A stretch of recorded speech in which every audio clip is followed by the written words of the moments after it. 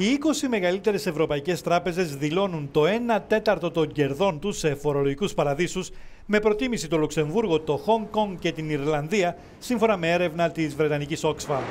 Ανάμεσα στις τράπεζες είναι η HSBC, η Barclay, η Royal Bank of Scotland, η PNP Paribas, η Credit Agricole, η Societe Generale, η Deutsche Bank, η Unicredit και η Santander.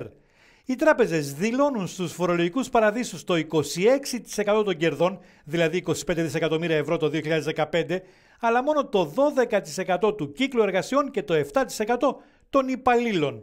Οι φορολογικοί παράδεισοι επιτρέπουν στις τράπεζες να μεταθέτουν τεχνητά τα κέρδη τους προκειμένου αφενός να μειώνουν τη φορολογία τους και αφετέρου να διευκολύνουν τη φοροδιαφυγή των πελατών τους.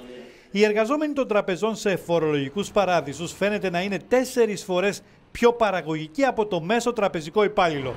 Δημιουργούν έτσι μέσο κέρδος ύψους 171.000 ευρώ το χρόνο σε σύγκριση με τα μόλις 45.000 ευρώ ετησίως για τον μέσο εργαζόμενο σε μια τράπεζα. Σύμφωνα με την έρευνα, η φορολόγηση των τραπεζών που μελετήθηκαν ανέρχεται κατά μέσο όρο στο 6% και πέφτει στο 2% για ορισμένες τράπεζες, αρκετά πιο κάτω από το κανονικό ισχύον ποσοστό του 12,5% που είναι το μικρότερο στην Ευρωπαϊκή Ένωση. Το Λουξεμβούργο και η Ιρλανδία είναι τα δύο μέλη της Ευρωπαϊκής Ένωσης που συγκεντρώνεται το 29% των κερδών που οι τράπεζες έχουν επιτύχει σε φορολογικούς παραδείσους.